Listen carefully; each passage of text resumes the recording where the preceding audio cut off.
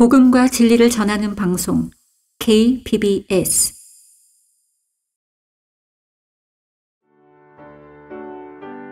성경 지식을 기초부터 탄탄히 쌓아가는 기초로 돌아가자. 그리스도인들의 소망은 곧 다시 오셔서 우리들의 이름을 부르실 주 예수 그리스도에게 있습니다. 이 시간 우리가 배울 말씀의 주제는 그리스도의 심판석과 재림에 대한 소망입니다. 성경침례교회 박승용 목사입니다. 네, 오늘은 그리스도의 심판석과 재림에 대한 소망에 대해서 공부하도록 하겠습니다. 예, 그리스도인들에게도 심판의 날이 있는 것인가? 예, 있습니다. 물론 이것은 구원받지 못한 죄인들이 받게 되는 백보자 심판과는 달라요. 오늘날 다른 이제 세상의 이제 많은 이제 기독교계의 여러 교회들은요, 그리스도의 심판석과 백보자 심판을 구분하지 못합니다. 그래서 그리스도인들이나 구원받지 못한 죄인들이나 모두 다 백보자 심판에 설 것이다. 라고 그들은 생각을 합니다. 하지만 그것은 그렇지가 않아요. 분명히 구분이 돼 있어요. 에, 그리스도인들은 어떤 심판을 받는 것인가? 바로 그리스도의 심판석이에요. 이 부분을 좀 더 자세하게 배울 것인데요.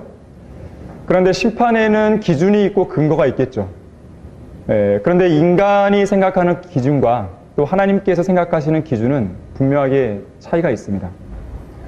이사야 55장 8절에 의하면 하나님의 생각은 인간의 생각과 다르다 그랬어요. 하나님의 길은 인간의 길과 같지 않다 그랬어요. 왜 그런 것이냐면 인간은 어떤 것을 근거로 판단하냐면 외적인 것, 물질적인 것, 또 외모, 외형적인 것 이런 것들을 보고 판단하죠. 하지만 하나님께서는 그러한 것이 아니라 마음의 태도를 보십니다. 어떠한 동기를 가지고 이것을 했느냐 그걸 보시는 것이에요. 또한 물리적인 물질적인 것보다는 영적인 영역에서 예, 하나님께서는 판단을 하시는 것이죠. 인간은 잠깐 보이다가 사라질 현 세상에 집착하지만 하나님께서는 예, 보이지 않는 영원한 것들에 가치를 두십니다. 그래서 심판의 기준이 다를 수밖에 없어요. 그렇기 때문에 하나님을 우리가 효과적으로 섬기려면 영원하고 영적인 문제들에 집중해야 돼요.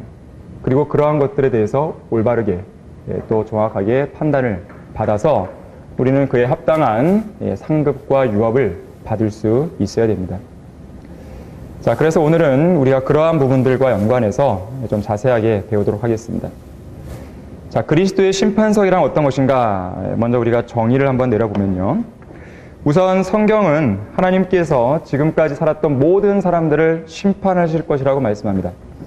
여러분들이 잘 아시는 말씀이죠. 히브리서 9장 27절에서 한 번 죽는 것은 사람들에게 정해진 것이고 그 뒤에 뭐가 있어요? 심판이 정해져 있다 그랬습니다. 자, 전도서 12장 13절 한번 찾아보겠습니다. 전도서 12장 13절 14절입니다.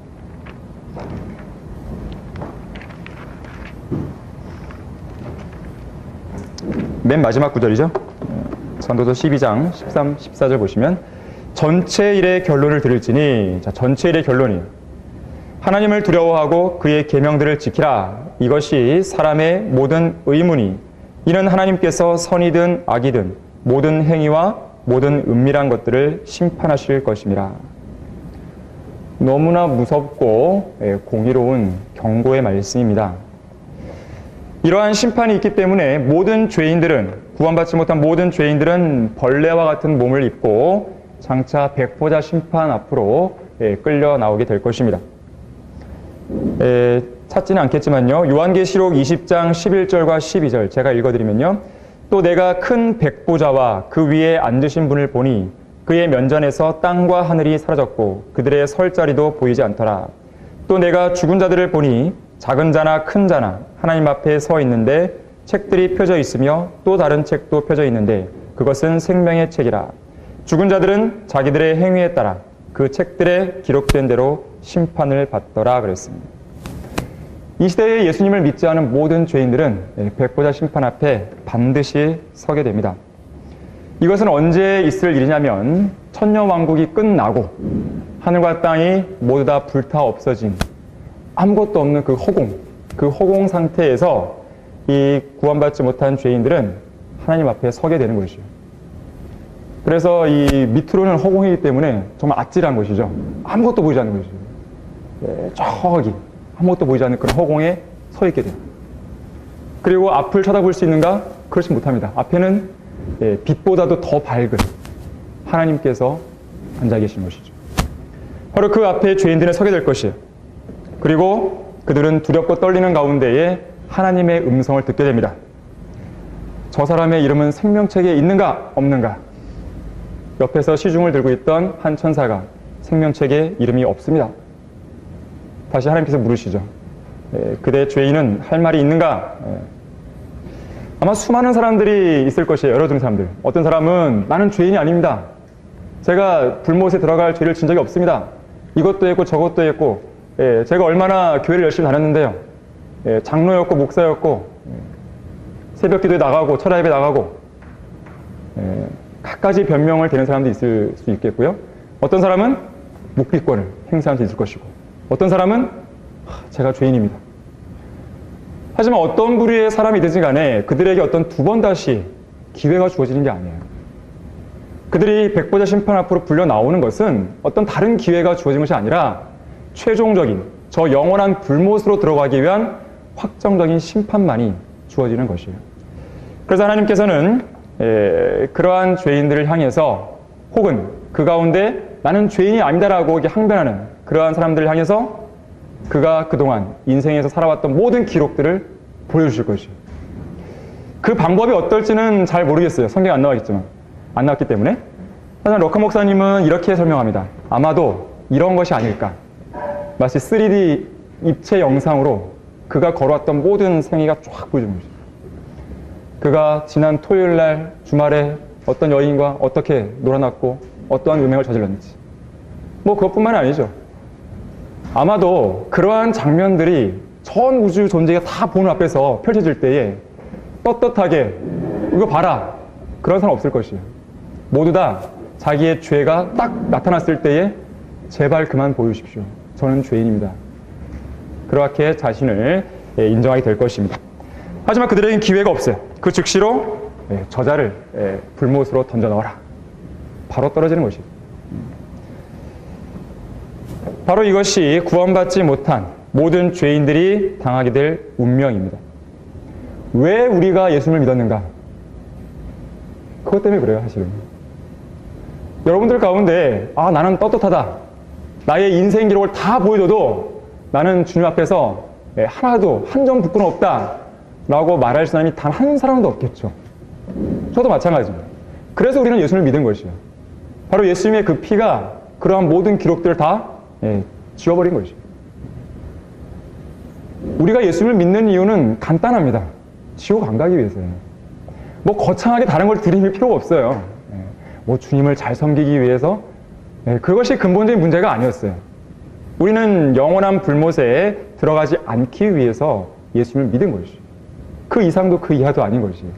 그렇게 해서 구원받았기 때문에 우리가 예, 주님을 위해서 아, 이렇게 섬기고 또 저렇게 섬기고 하는 것들이 나오는 것이죠. 자, 어쨌든 구원받지 못한 죄인들은 그렇게 백보자 심판에 서요. 그러나 구원받은 그리스도인은 결코 백보자 심판에 서지 않습니다.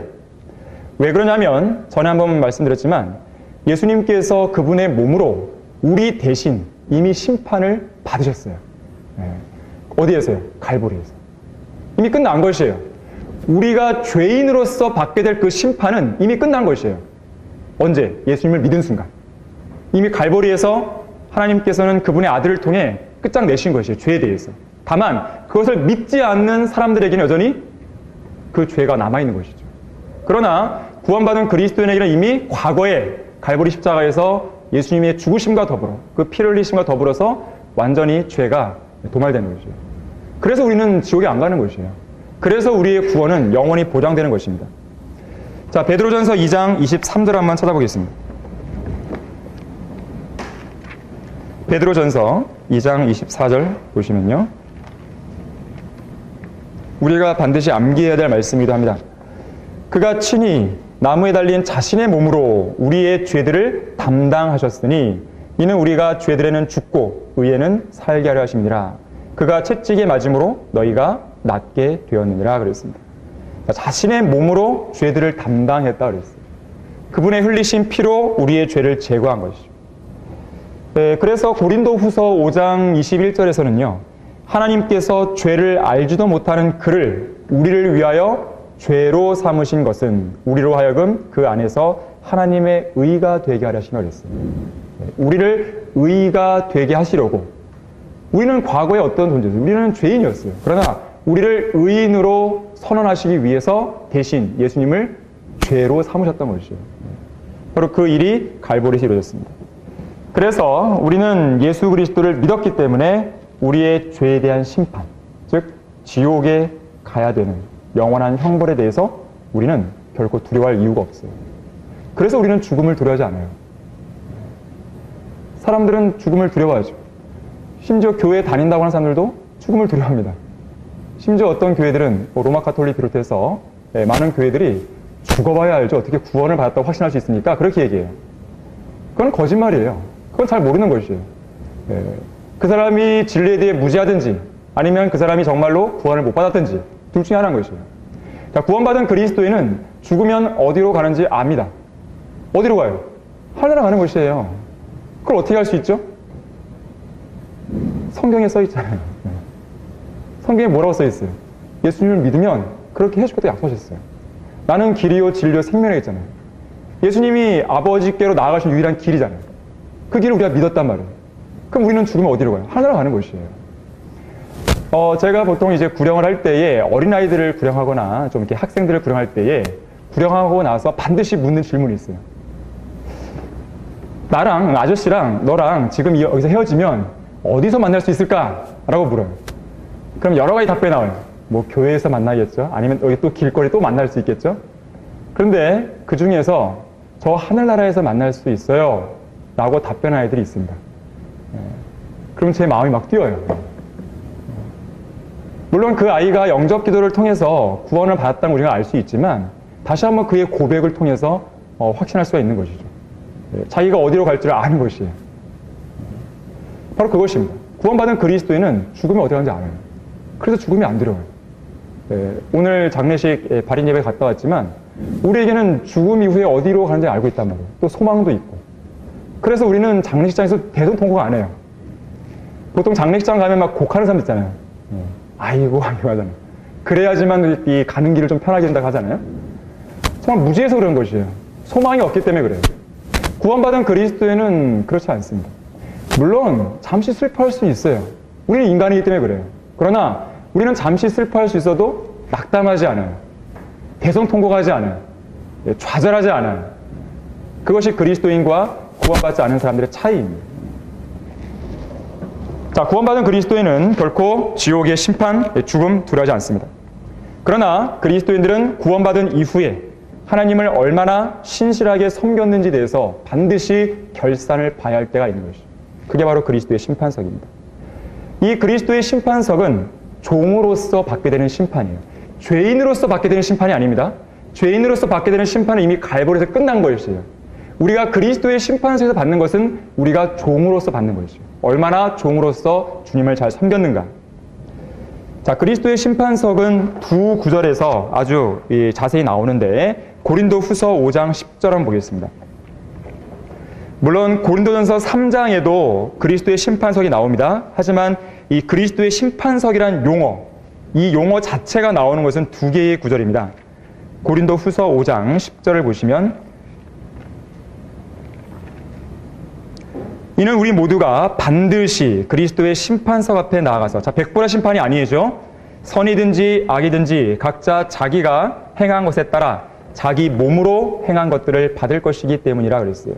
자 그리스도의 심판석. 우리 몸으로 행한 것들이에요. 구원받은 그리스도인이 구원받은 이후에 자기 몸으로 행한 것들 이것들에 대해 심판받습니다. 자 로마서 14장 10절도 보겠습니다. 여러분이 그리스도의 심판석과 연관해서 이 두 구절을 꼭 기억해 두세요. 백보자 심판과 그리스도의 심판석이 똑같다라고 말하는 사람들을 향해서 다르다라고 여러분들은 이 구절을 통해 이야기하셔야 됩니다. 로마서 14장 10절을 보시면 그런데 너는 어찌하여 내 형제를 판단하느냐 어찌하여 내 형제를 업신 여기느냐 우리가 모두 그리스도의 심판석 앞에 서려 있어요. 여러분 변개된 개혁 성경은 이 그리스도의 심판석을 이 구절을 어떻게 마, 만들었는지 아세요? 하나님의 심판대라고 해서 하나님의 심판대. 그래서 그 사람들이 백보자 심판과 그리스도의 심판을 똑같게 생각하는 것이에요. 하나님의 심판 때는 백보자 심판이에요. 예. 우리는 백보자 심판 쓰는 거 아시는 아니에요. 그리스도의 심판서예요. 분명히 다릅니다. 성경이 번개되어 있으면 진리를 못 깨닫게 되는 것입니다. 자, 그리스도의 심판석은 백보자 심판처럼 죄에 대한 형벌로 지옥에 가는지의 여부를 판단하는 심판이 아니에요. 이미 우리는 구원받았단 말이죠. 그리스도의 심판석은 구원받은 그리스도인만 서게 되는 것이에요. 거기에는 구원받지 못한 사람은 없어요. 자, 모두가 다 구원받았어요. 다만, 구원받은 이후에 내가 어떻게 했느냐. 상급과 유업, 이것이 결정되는 자리입니다. 자, 그렇다면 그리스도의 심판석에서 우리는 어떤 것을 심판받는지 예, 구체적으로 보면요. 예, 아까 우리가 고린도전서 3장 잠깐 언급드렸는데요. 한번 보겠습니다. 3장 11절 한번 찾아보십시오. 여기는 그리스도의 심판석이라는 용어는 나오진 않지만 그 묘사 자체는 심판석입니다. 예, 3장 10, 10절부터 보시면요. 10절. 내게 주신 하나님의 은혜에 따라 내가 현명한 건축가와 같이 기초를 닦았더니 다른 사람이 그 위에 지으니라. 그러나 각 사람은 그 위에다 어떻게 지을지 주의해야 할 것이라. 이 닦아놓은 기초 외에 아무도 다른 기초를 놓을 수 없나니 이 기초는 예수 그리스도시라. 자, 기초가 누구예요? 예수 그리스도세요. 그래서 이 기초가 없는 사람들은 뭐예요? 구원받지 못한 사람이에요. 그래서 그들은 그리스도의 심판에서 할수 없는 것입니다.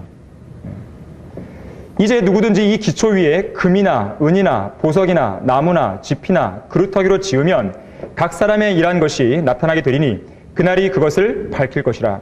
이는 그것이 불로서 드러나고 또 그 불은 각 사람의 일한 것이 어떤 종류인지를 시험할 것이기 때문이라.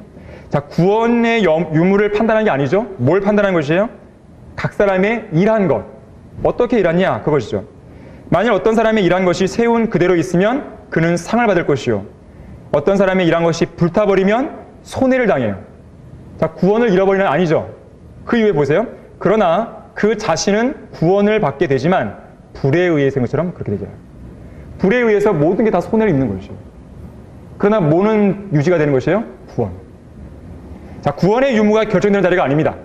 구원받은 그리스도인의 상급이 결정되는 자리예요. 자기가 일한 것, 과연 그게 어떤 종류인가, 그걸 보는 것이죠. 자, 그렇기 때문에 우리 모두는 예수 그리스도의 기초 위에 하나씩 하나씩 차곡차곡 쌓는 것을 우리는 주의해야 되는 것이죠.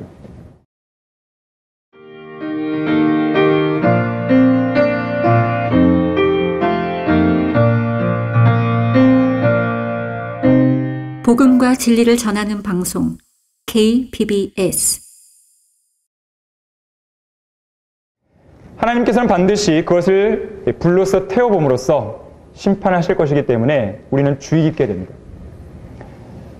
에, 다 쌓아놓은 것들이 불타지 않으면 가장 좋겠지만 자기가 쌓은 것들이 다 타버린다면요. 그 얼마나 허무하겠어요. 정말 열심히 열심히 자기는 주님을 살았다고 생각하는데 주님의 방법대로 살지 못했고 또 주님께서 제시하신 기준대로 살지 않았고 또 주님께서는 이렇게 이렇게 섬겨야 된다고 했는데 그렇게 하지 못했고 혹은 했다 하더라도 그 마음의 동기가 불순했다고 한다면 다 타버리는 것이죠. 허무한 것입니다. 어, 우리 그 그림으로 보는 요한계시록 책이 있어요. 거기에 보게 되면 그리스도의 심판석을 묘사하는 장면이 그려져 있습니다. 네, 그 그림을 가만히 잘 보시면요. 막 불타 다 없어져요. 연기 속에 다 사라집니다. 그것을 보고 있는 그 앞에 있는 그 사람, 그 성도의 눈빛을 가만히 보면요. 정말 럭커 목사님이 정말 잘 묘사해놨는데 망연자실한 표정입니다. 너무 허무한 표정이에요. 네. 여러분 그것이 지금 생각하기에 아무것도 아닐 것 같다고 생각하십니까? 그렇지 않습니다. 여러분 그리스도의 심판석을 가볍게 생각하시면 안 돼요. 우리는 구원받은 걸로 족하다. 아, 족하죠. 그러나 그걸로 끝나는 게 아니에요, 여러분. 우리의 삶은요, 이제 구원으로 시작되는 것이에요. 우리의 삶은 이 지상 삶이 끝이 아닙니다. 영원이라는 시간이 주어져 있어요. 그건 시간으로 계산할 수가 없죠. 자, 그 영원한 삶을 내가 과연 어떠한 상급으로, 어떠한 유업으로 우리는 보상받을 것인가. 아주 중요한 부분입니다. 그래서 우리는 우리가 예수님을 믿음으로써 세워놓은 그 기초 위에 어떻게 그 위에다 지어야 될지를 주의하셔야 돼요. 그래서 여러분들은 여러분의 삶을 잘 보셔야 됩니다. 자, 뭘 쌓아야 되는 것인가? 여기 12절에 보니까 금이 나오죠, 금. 성경에서 금은 하나님의 신성을 상징합니다, 신성. 구약의 예배의 중심이 어디였습니까? 성막이죠, 성막. 성전이었죠. 성전의 모든 기명들은 대부분 뭐냐면 금으로 입혀져 있어요. 금으로 돼 있거나. 금은 땅에서나 하늘에서나 이 셋째 하늘을 가도요. 새 예루살렘, 성경에 묘사된 새 예루살렘을 보더라도 온통 금으로 되어 있어요. 여러분 보석 좋아하세요? 아, 싫어하세요? 네. 네, 싫어하시는군요. 거기에는 뭐 지상에서 우리가 볼 수 있는 그 보석은 뭐 비교가 안 되죠. 새 예루살렘의 그 성문 한 짝, 성문 한 짝이 진주 하나예요. 진주 하나. 성문 한 짝이. 뭐 진주 반대, 진주 목걸이 뭐 이런 것이 아니라 성문 한 짝이 진주예요. 여러분 반드시 오늘 집에 가셔서요. 요한계시록 21장 20에 나오는 그 새 예루살렘에 대한 묘사를 반드시 보세요. 우리가 장차 이사갈 집입니다. 여러분 이사갈 새 집 다음날 이사 간다고 막 흥분되잖아요. 안 그러세요? 흥분되잖아요. 아, 새집 막 기대가 돼요. 잠도 안 오고 설친단 말이죠. 장차 우리가 갈 집을 여러분들이 잘 모른다. 반성하셔야 됩니다. 오늘 반드시 집에 가셔서 읽어보세요. 우리가 영원히 살 집 어딘지. 자, 금은 하나님의 신성이에요. 그래서 하나님께 예배를 드릴 때마다 또는 하나님을 우리가 최우선적으로 섬길 때마다 또 하나님께 최고의 영광을 돌릴 때마다 우리는 금을 계속 쌓아 나가는 것이에요. 두 번째로 은이에요. 은은 성경에서 민수기 3장에 의하면 구속의 값을 치를 때, 소위 이제 속전이라고 속전. 예. 그럴 때에 값을 치를 때 은이 사용됩니다. 그래서 은은 구속을 상징해요. 그래서 여러분들이 복음을 전해서 누군가를 이겨왔다. 그러면 계속 은이 쌓이는 것이에요. 예. 열심히 구령하셔야 됩니다. 예, 그 다음에 보석. 성경에서 보석 그러면 보통 사람들을 가리킵니다. 나중에 한번 찾아보세요. 말라키 3장 17절, 말라키 3장 17절이나 스카랴 9장 16절, 스카랴 9장 16절을 보시게 되면 보석은 사람을 가리켜요, 사람. 그래서 우리 걸로 적용해 본다면 어떻게 보려고 보시냐면 우리가 복음을 전해서 혼을 이겨왔다. 그것도 역시나 은이기도 하지만 또 보석도 되는 것이에요. 그뿐만 아니라 내가 구령한 사람을 진리의 말씀으로 잘 양육시켰다. 잘 성장시켰다. 그리고 그러한 성도를 과거의 옛 생활 습관으로 돌아가지 않도록 내가 권면도 해주고 격려도 해주고 잘 이끌어줬다. 그럼 그 사람은 보석을 쌓고 있는 것이에요. 그래서 이 시대에 그리스도인이 해야 할 가장 주된 임무. 우리가 언젠가 지역교회에 대해서 배웠었죠? 지역교회가 해야 할 가장 큰 두 가지 임무가 뭐냐? 첫째가 복음 전파예요. 두 번째가 구원받은 성도들을 양육시키는 것이에요. 여러분은 언제 어디서든지 그 일을 하셔야 됩니다. 기본적으로 복음을 전파해야 되고요. 자신이 어떤 그래도 성경적 기본적 지식이 있다. 그러면 구원받은 그 사람을 우리 교회로 인도해 오는 게 가장 좋겠지만 인도해 올 수 없다면 또 기회가 단다면 성역 공부를 시작하십시오. 직장이 어디에 있든지 그렇게 시작하셔야 됩니다. 음. 그것이 여러분이 있어야 할 자리에서 해야 될 주된 임무예요. 자, 그렇게 했을 때 은과 보석이 막 쌓여가는 것이에요. 여러분, 통장에 돈이 막 쌓여가는데 기분 나빠할 사람 있어요? 없잖아요. 네. 물론 돈을 사랑해서는 안 되죠. 없단 말이에요. 그런데 저 하늘에 나의 금과 은과 보석이 쌓아간다. 안 기쁘세요? 어, 기쁘단 말이에요. 네. 그것을 기대하시란 말인 거죠. 우리는 그러한 것을 바라보며 사는 사람들입니다. 그러한 삶을 사셔야 되는 것이죠. 그랬을 때에 그러한 모든 것들이 상급으로 연결되는 것이죠. 반면에 거기 보게 되면 12절에서 나무나 지피나 그루터기 네, 이건 뭐냐면 다 죽은 것들이에요. 여기서의 나무를 영어로 보면요. tree가 아니에요. tree는 살아있는 나무죠. 여기는 나무는 wood예요. Wood. 죽은 나무예요. 목재 이런 거예요. 그루터기, 집 다 죽은 것입니다. 썩어 없어질 것들이에요. 그게 뭡니까? 육신의 정욕, 안목의 정욕, 네, 생의 자랑. 세상에 있는 것들이죠. 그래서 요한일서 2장 15절과 16절에서는 뭐라 합니까? 세상도 세상에 있는 것들을 사랑하지 말라 그랬어요. 왜요? 그러한 것들은 다 뭐냐면 없어질 거예요. 자, 그러한 것들은 모두 다, 다 불타 없어집니다. 또한 우리가 아까 읽었지만 로마서 14장 10절에서 우리가 자신에 관해 설명할 날이 오는 것이에요. 예, 로마서 14장 11절 12절에 이렇게 되어 있습니다. 주가 말하노라 내가 살아있으니 모든 무릎이 내게 꿇을 것이요 모든 혀가 하나님께 자백하리라고 하였습니다. 그러므로 우리 각 사람이 하나님께 자신에 관해 설명한다 그랬어요. 구원받지 못한 죄인들은 백보자 심판에서 설명하게 될 것이에요. 그리고 구원받은 그리스도인은 그리스도의 심판석에서 설명하게 될 것이에요. 내가 주님을 위해서 뭘 했는지. 여러분 설명할 준비가 되어 있으세요? 되어 있으십니까? 준비하셔야 됩니다. 단순히 우리가 대학 뭐 리포트 쓰고 또 회사에서 뭐 취직하기 위해서 어떤 자기 면접을 준비하고 그것보다 더 중요한 게 뭐냐면 그리스도의 심판서에 내가 주님 앞에서 드려야 될 말을 준비하는 것이에요. 그 보고서를 여러분들이 준비하셔야 됩니다. 그 보고서를 잘못 준비하면 네, 하염없이 연기 속에 다 타버리는 그것을 여러분들은 바라보고 계셔야 돼요. 자, 결코 그래서는 안 되겠죠? 또한 중요한 것은 단지 우리가 했던 그 일의 양이 중요한 게 아니에요. 질이 중요해요, 질. 아까 뭐라 그랬습니까? 각 사람이 일한 것이 어떤 종류인지, 어떤 종류인지 판단하라 그랬어요. 고린도전서 13장 13절에서. 여러분 고린도전서 4장 5절 한번 보세요. 어떤 종류인지 보시기 때문에 마음의 동기도 매우 중요한 것입니다. 그래서 거기 4장 5절 보시면 그러므로 때가 이르기 전 주께서 오시기까지는 아무것도 판단하지 말라. 주께서 어두움에 감추어진 것들에 빛을 비추시고 마음의 의도들을 나타내시리라. 그때서야 하나님께로부터 각 사람이 칭찬을 받으리라. 우리가 이 지상에서 이러쿵저러쿵 예, 판단하는 것은요, 의미가 없을 수가 있어요. 정말 가장 중요한 판단은 주님의 판단입니다. 과연 주님께서 나를 그리스도의 심판에서 어떻게 평가하실 것인가? 이게 중요해요. 럭한 목사님은 우리에게 그런 도전을 하세요.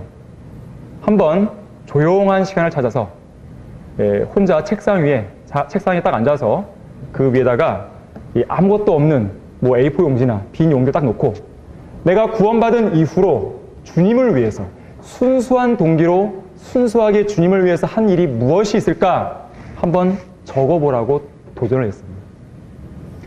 럭카 목사님도 직접 해봤는데 하, 잘 생각이 안 난다는 것이. 우리가 알기로는 정말 그 대단한 분이 잘 생각이 안 난다는 것이. 10년에 대부분의 사람들은 한두 개 정도 있을까 말까 하다는 것이에요. 참으로 심각한 부분입니다. 그래서 여러분들은 오늘 이후라도요, 여러분의 삶을요, 아주 정밀하게 돌아보셔야 됩니다. 그리고 다시 한번 설계를 하셔야 돼요. 인생 설계를. 우리에게는 얼마 남지 않을 수 있습니다. 네. 오늘도 뭐 장례 있었지만 그분처럼 갑작스러운 죽음이 찾아올 수 있단 말이에요. 정말 예기치 못한 죽음이에요. 죽음은 언제 어디서 올지 몰라요. 더군다나 주님의 오심도 무척 가까이 와 있는 것이에요. 자, 그렇다면 내가 남은 생애를 과연 어떻게 쓸 것인가? 잘 돌아보셔야 됩니다. 그리고 그렇게 계획을 잘 주님 안에서 세운 가운데서 그리스도의 심판석과 연관시켜서 하셔야 돼요. 자, 그리스도의 심판석에서 반드시 우리에게 주실, 예, 주시려고 하는 그런 멸류관이 있단 말이에요. 그 멸류관을 제가 설명을 드릴 텐데, 다섯 가지 멸류관이 주어집니다. 다섯 가지. 거기 4번 보시면 어떤 상을 받게 되는가? 바로 그 부분이에요. 첫 번째가 의의 멸류관이에요. 의의 멸류관. 의의 멸류관은 누구에게 주어지냐면 예수님의 재림을 사모하는 사람들에게 주어집니다. 디모데후서 4장 8절에서는 이렇게 말씀해요.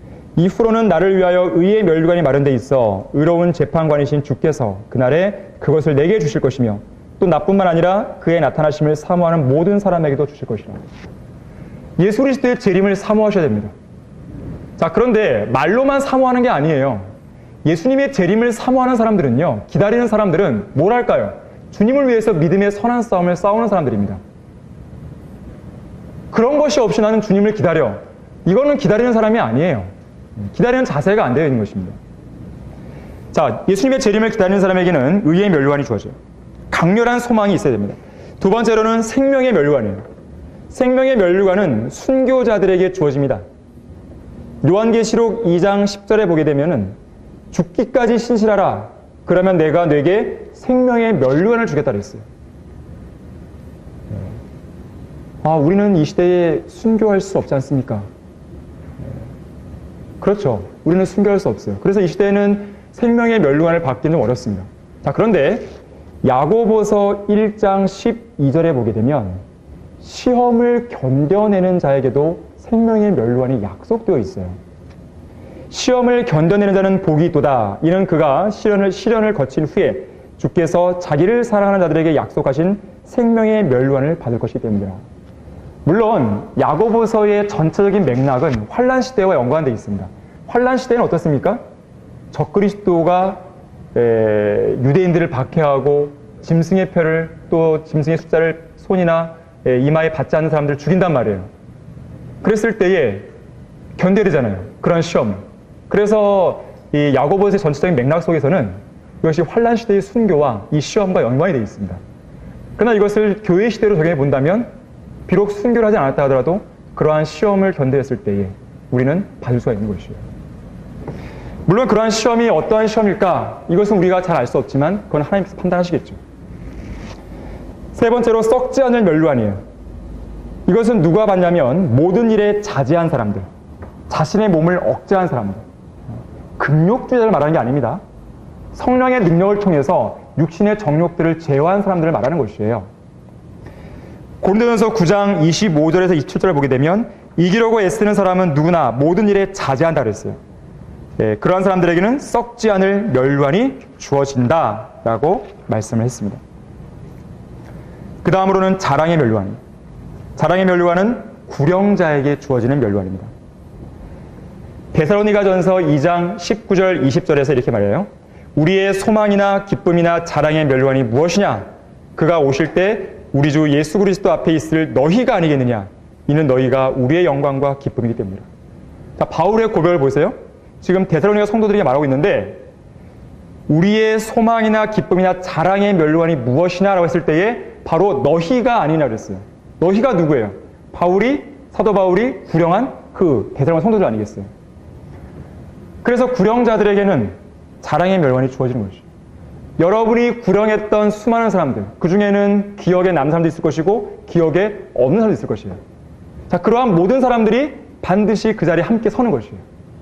그리고 그 사람들이 증인이 되어갖고, 하나님께서는 우리에게 자랑의 멸관을 주신 것이에요.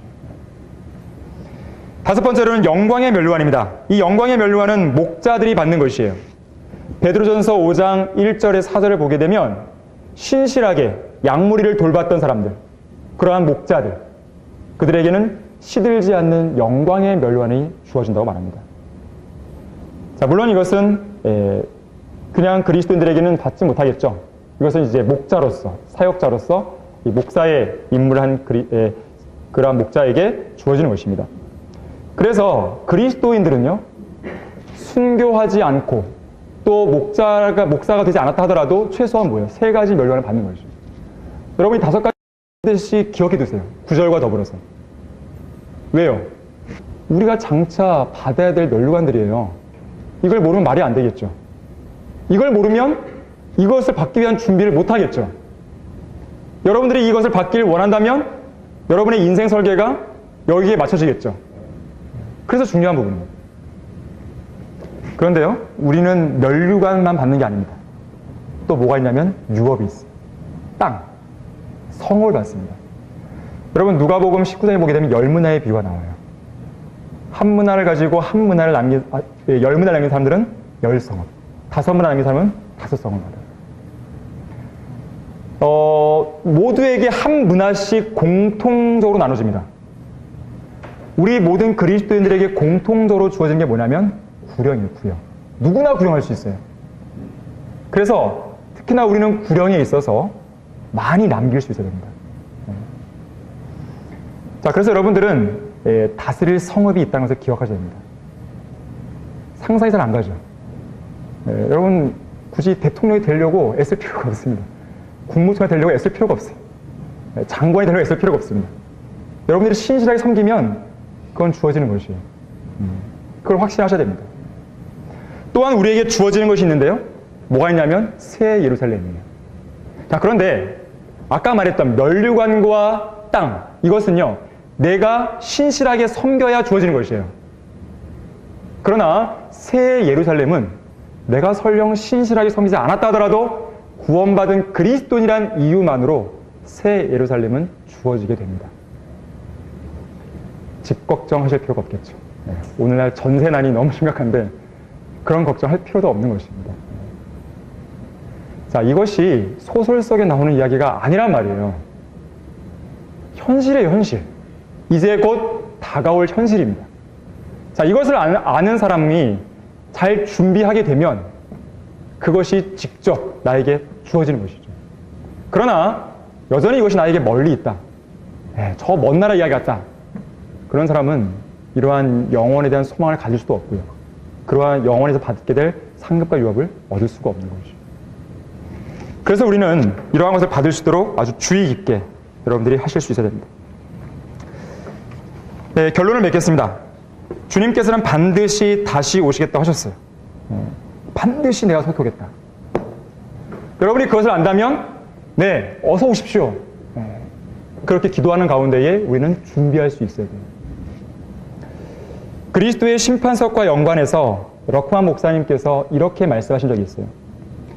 그리스도의 심판석에서 상을 받고 싶은가? 그렇다면 오늘 포도원에 가서 일하라. 그리스도의 심판석에서 상을 받기 싫은가? 그렇다면 그냥 앉아서 아이들이나 기르라. 이 나라에는 짐승처럼 사는 수많은 그리스도인들이 있다. 그들은 단지 아이들을 기르고 자신의 배를 채우다가 죽어서 본향에 간다. 정말 상을 받고 싶으면 일하라 그랬어요. 상 받고 싶으세요? 네. 일하세요. 일해야 됩니다. 그러면 그 상급과 유업이 주어지는 것이 바로 그것을 위해서 우리는 그리스도의 심판석을 준비해야 되는 것입니다. 지금까지 기초로 돌아가자와 함께 하셨습니다.